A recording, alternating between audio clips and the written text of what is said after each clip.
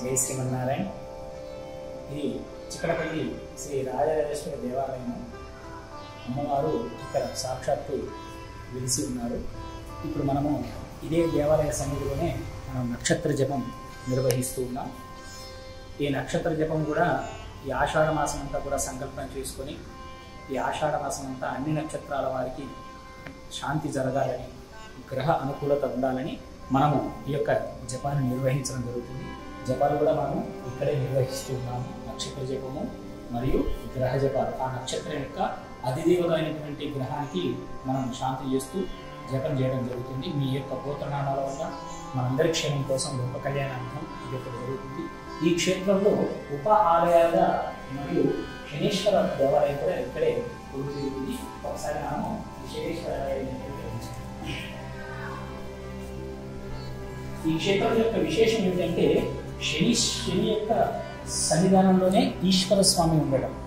So దానివల్ల శనీశ్వరుడు ఇక్కడ వేశాడు ఇక్కడ శని పూజ కాగానే వెంటనే ఈశ్వర అభిషేకం జరగడం ఇక్కడ విశేషము. సో అందువల్ల ఇక్కడ చాలా మందికి ఏలినాటి శని కానీ కటక శని కానీ అష్టమ శని కానీ ఏ దోషాలున్నా కూడా ఇక్కడ శని పూజ చేసుకున్న తదనంతరం వెంటనే పాదప్రక్షాళనం కాగానే ఆ యొక్క బ్రహ్మలు ఇక్కడ రుద్రునికి ఇక్కడ శివుడికి కూడా అభిషేకం చేయడం జరుగుతుంది. దానివల్ల ఈ క్షేత్రం ఇంకా చాలా ప్రాగుణ్యత ఉప ఆలయాలుగా మరొక క్షేత్రం ఇక్కడ మనకున్నది సద్గురు. బాబాగారి యొక్క అనుగ్రహం ద్వారా సద్గురు కూడా ఇక్కడ సరస్వతి అమ్మవారు దత్తాత్రేయ స్వామి ఇక్కడ కొలుతీరి ఉన్నారు. ఈ యొక్క చిక్కడపల్లి రాజరాజేశ్వర దేవాలయంలోనే వీరు కూడా కొలుతీరి ఉండడము. ఈ గురువు అనుగ్రహం వల్లనే మనం అందరం ఇక్కడ కార్యక్రమాలు నిర్వహిస్తున్నాం. ఇక్కడ అశ్వత్థ నారాయణ వృక్షము. శ్రీ బ్రహ్మ విష్ణు మహేశ్వర స్వరూపమైనటువంటి దత్తాత్రేయ స్వామి స్వరూపమైనటువంటి నారాయణ వృక్షం ఉంది. ఆ వృక్షము కింద సుబ్రహ్మణ్యేశ్వర స్వామి నాగదేవత ప్రతిష్టలు జరుగుతూ ఇక్కడ కుజదోష పరిహారాలు కూడా ఎన్నో ఇక్కడ నిర్వహించడం జరుగుతుంది.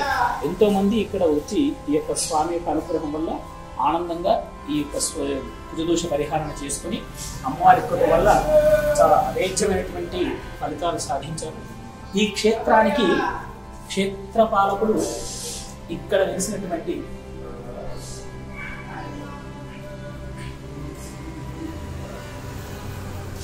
ఈ క్షేత్రాన్ని మొత్తం కూడా క్షేత్రపాలకులు ఇక్కడ వెలిసినటువంటి ప్రాచీనంగా ఉన్నటువంటి గ్రామ దేవత.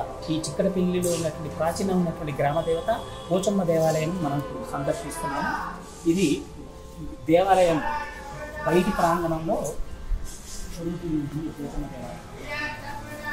వీధినటువంటి స్వయంభూ స్వయంభూ వెలిసినటువంటి అమ్మవారు పోచమ్మ తల్లి.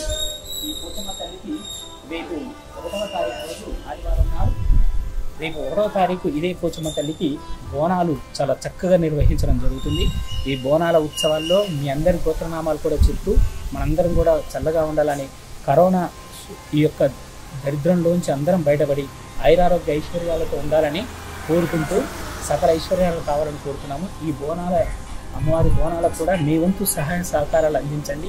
మీ వంతు సహాయ సహకారాలు అందించి ఇక్కడ మేము తలపెట్టినటువంటి ఈ యజ్ఞాన్ని మీరందరూ కలిసి జయప్రదం చేయండి.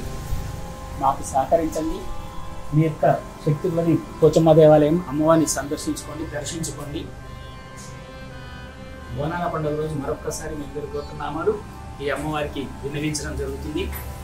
అమ్మవారి సమక్షంలో మరొకసారి పూజ నిర్వహించి ఆ యొక్క అమ్మవారి కృపను అమ్మవారి ఆశీర్వాదాన్ని మీ అందరికీ పంపించడం జరుగుతుంది. మీ యొక్క ఆర్థిక సహాయం ఏదైనా ఉంటే మీకు తోచిన సహాయం అందించి ఈ అమ్మవారి కృపకి పాత్రలు కండి.